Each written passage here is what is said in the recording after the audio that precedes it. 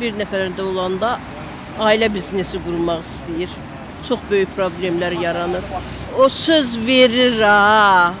Sözü yerinə yetirə bilmir. Elə o səlahiyyət olmasa yaxşıdır. Söz verir ki, vətəndaşların səsi mənə gəlib çatmır. Xahiş edirəm vətəndaşlar özü mənə müraciət eləsinlər. Müraciət edirsən vətəndaşı qoymurlar ki, ə, nəinki prezident etsin, o saraya yaxın getsin. İdarəyə rəhbər seçmək səlahiyyəti prezidentdə olmasaydı daha yaxşı olardı. Məsələn, niyə? Prezident o rəhbərlərin arxasında durursa, onda o rəhbər ə, kiçik işçiləri daha çox əzir. Prezidentə arxayın olaraq daha çox əzir. Konstitusiyaya görə hakimiyyət üç yerə bölünür. Qanunverici, icra edici, bir də hüquq. Əgər bir adamın əlində olsa, demək ki, o birisi qüvvələri saymır, onda da belə çıxar da diktatura. Çox böyük problemlər əmələ gəlir. Çox həddindən artıq bir nəfərdən asılı olanda. Elə bil ki, bütün şöbə hamısı bir nəfərdən asılı olur. Prezidentdə heç bir səlahiyyət yoxdur. Olsaydı hamısı yerinə yetirərdilər.